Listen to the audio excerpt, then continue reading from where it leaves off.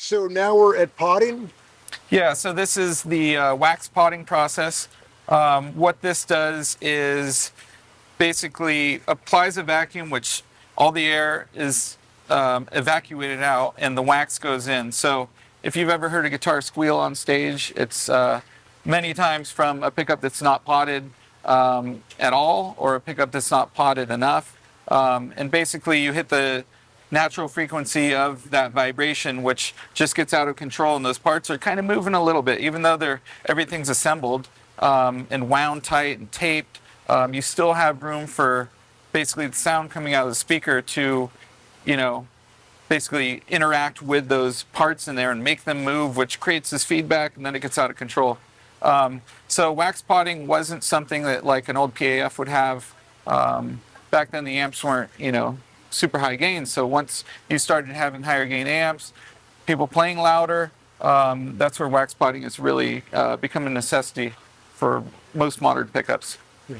So some some pickups like the Seth Lover, um, the Antiquity humbuckers, if we're really going for a vintage, you know, tone, vintage feel, vintage construction, that's where we will not wax pot them. Yeah. Um, a lot of those will also use butyrate, which is a, a plastic that was around in the 50s. wasn't the most modern plastic, so doesn't really have the uh, the tolerance for heat like a, a, you know more a more modern plastic would. So Right. if you put a PAF in here, um, you can you can melt and shrink the coil and really damage it. So um, when we do special orders and pot those, we have a you know a little procedure we do that seems to work pretty well without damaging them. But uh, it's there's really a fine line there. Yeah, and uh, I can remember back in the day when I was a kid, a friend of mine uh, potting with, I mean, literally had paraffin wax in a coffee can and and destroying a PAF.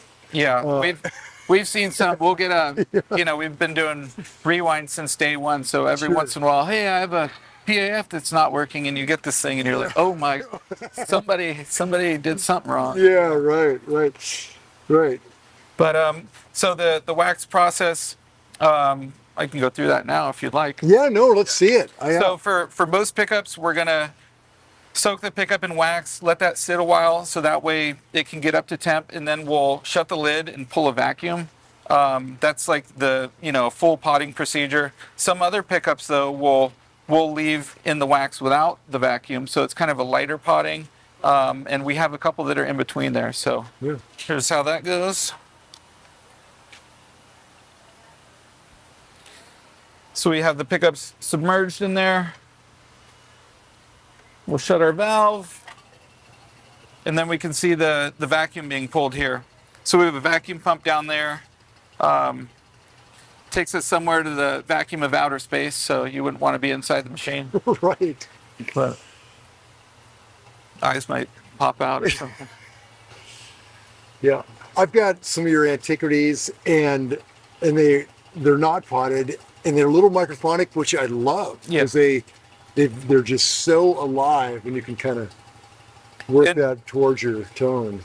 We had a wax pot with a like a Lexan top before, which was really cool because you get to see all the bubbles and all the air coming out of that pickup, and Oh, yeah. it was like this boiling cauldron of uh, humbuckers in there.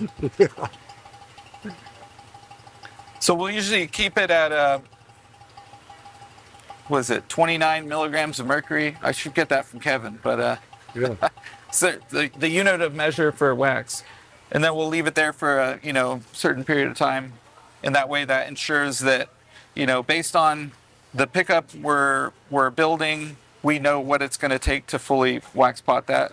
Um, certain pickups have a little more metal mass they take longer to heat up and those might require more time to get the wax uh, the wax fully you know impregnated into all the little nooks and crannies in the pickup